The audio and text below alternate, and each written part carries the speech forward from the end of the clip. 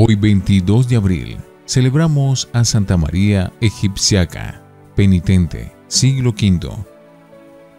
Una hermosa tradición muy antigua cuenta que en el siglo V un santo sacerdote llamado Sósimo, después de haber pasado muchos años de monje en un convento de Palestina, dispuso irse a terminar sus días en el desierto de Judá, junto al río Jordán, y que un día vio por allí una figura humana, que más parecía un esqueleto que una persona robusta.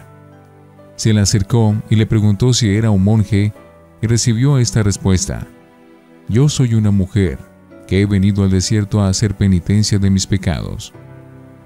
Y dice la antigua tradición que aquella mujer le narró la siguiente historia. Su nombre era María, era de Egipto.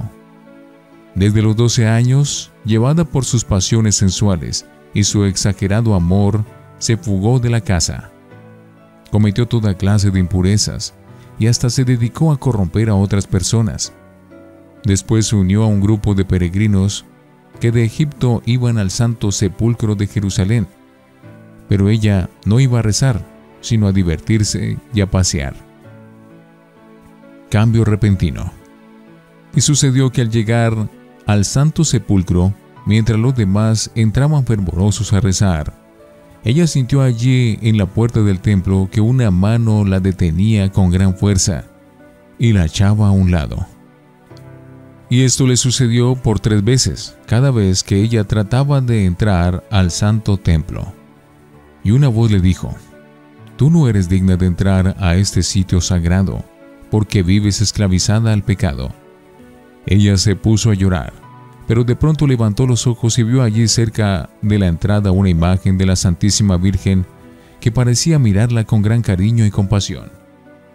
Entonces la pecadora se arrodilló rezando y le dijo, Madre, si me es permitido entrar en el templo santo, yo te prometo que dejaré esta vida de pecado y me dedicaré a una vida de oración y penitencia. Y le pareció que la Virgen Santísima le aceptaba su propuesta.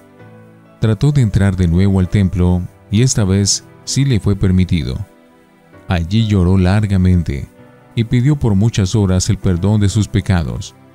Estando en oración, le pareció que una voz le decía, En el desierto más allá del Jordán encontrarás tu paz.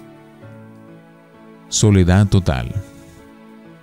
María Egipciaca se fue al desierto y allí estuvo por 40 años rezando, meditando y haciendo penitencia. Se alimentaba de dátiles, de raíces, de langostas y a veces bajaba a tomar agua al río.